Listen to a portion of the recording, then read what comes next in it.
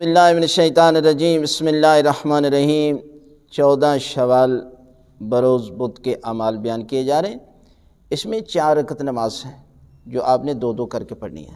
دو رکت نماز پڑھتا ہوں، قربتاً اللہ سورہ الحمد کے بعد سورہ قدر کی تلاوت کرنی ان نانزالوں فی لیلت القدر، ایک دفعہ۔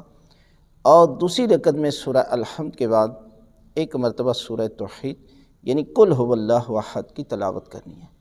اور اس کے بعد دعائے قنوت، رکوع اور سجود اور ذکر سے مکمل کرنے کے بعد نماز، پھر دو رکت نماز پڑھیں۔ اسی طرح جیسے پہلے بیان ہوئی ہے، اسی طرح نماز جو ہے وہ آپ نے پڑھنی ہے۔ تو اس لیے کہ یہ بدھ کا دن چار معصوم ہستیوں سے منصوب ہے۔ حضرت امام موسیٰ کاظم علیہ السلام، حضرت امام علی رضا علیہ السلام، حضرت امام محمد تقی علیہ السلام اور حضرت امام علی نقی علیہ السلام۔ چار معصوم ہستیوں کا واسطہ دے کر دعا کرنی ہے۔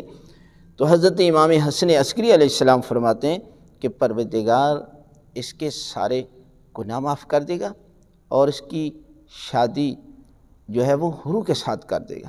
اس لیے یہ عمال انجام کی دیجیے اور بہت بڑا ثواب ہے پروردگار کی بارگاہ میں اس ثواب کو کمائیے۔